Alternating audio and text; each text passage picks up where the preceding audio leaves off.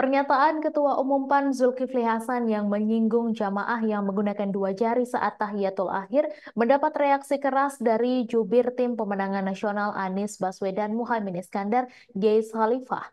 Ia menilai kelakuan Zulhas sama seperti mereka yang berada di kekuasaan. Menurut Geis, contoh dari perilaku tersebut sering kali mempermainkan agama.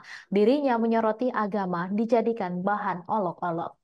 Bahkan ia menyebut Zulhas sudah ketularan perilaku para buzzer. Diketahui pernyataan Zulhas banyak mendapat reaksi panas. Salah satunya datang dari cendekia muda Muslim Indonesia atau CMMI.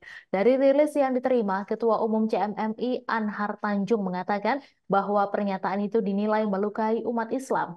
Organisasi CMMI mengajak kepada seluruh organisasi masyarakat Islam agar dapat bersama-sama melakukan aksi tangkap penista agama Zulkifli Hasan. Sementara itu, Ketua Fraksi PAN DPR RI Saleh Partaunan Daulay turut angkat bicara untuk menjelaskan maksud pernyataan Zulhas yang ramai dibicarakan itu. Saleh menjelaskan jika video tersebut diikuti secara keseluruhan, dapat dipahami bahwa Zulhas ingin mengajak semua pihak untuk menjaga agar Pilpres tetap teduh, tertib, aman, dan damai. Ditegaskan Saleh, Zulhas tak ada sedikit pun maksud untuk melecehkan agama.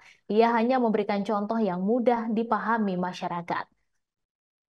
Saleh juga mengatakan ada pihak-pihak yang memotong video tersebut sehingga memunculkan kesan bahwa Zulhas melakukan penistaan agama.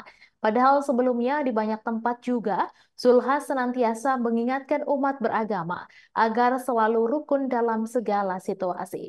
Lebih lanjut, Saleh juga mengungkit video yang sama juga muncul dari Ustaz Abdul Somad dan Ustaz Adi Hidayat.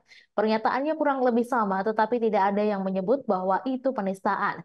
Malah disebarluaskan tanpa presiden negatif.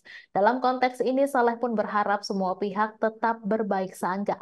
Apalagi Zulhas tidak punya rekam rekam jejak yang buruk terhadap Islam. Malah sebaliknya, ada banyak agenda umat yang beliau terlibat aktif hingga saat ini.